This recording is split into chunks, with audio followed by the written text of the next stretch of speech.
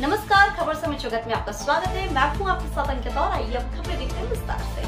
बराड़, खबर शिवपुरी ज़िले के बराड़ से हम आपको बता दें कि बराड़ में पाँच साल पहले लव मैरिज के बाद एक 22 साल की विवाहित अपने पति को छोड़ घर से लापता हो गई। पीड़ित पति ने अपनी पत्नी के घर से अचानक लापता हो जाने की शिकायत बराड़ थाने में दर्ज कराई है। पुलिस ने पति की शिकायत पर से गुमशुदगी दर्ज विवाहित की तलाश शुरू कर दी है। जानकारी के अनुसार बिरार थाना क्षेत्र के टपरा मोहल्ले में रहने वाले संतोष पुत्र कल्ला वाल्मीकि उम्र 26 साल ने बताया कि उसकी शादी पाँच साल पहले कविता शाह की उम्र 22 साल के साथ हुई थी।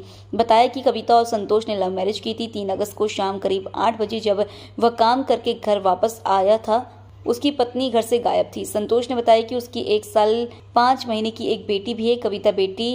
परी को भी अपने साथ ले गई है। इसके बाद पीड़ित ने आसपास और रिश्तेदारी में पता किया लेकिन कविता का कोई सुराग नहीं लगा जिसके संतोष ने अपनी बहन के साथ बैराड़ थाने पहुँच कर गुमशुदगी दर्ज कराई है। बैराड़ थाना पुलिस विवाहित युवती की तलाश में जुट गई है।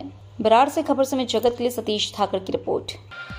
For latest news, subscribe to our channel and press the bell icon.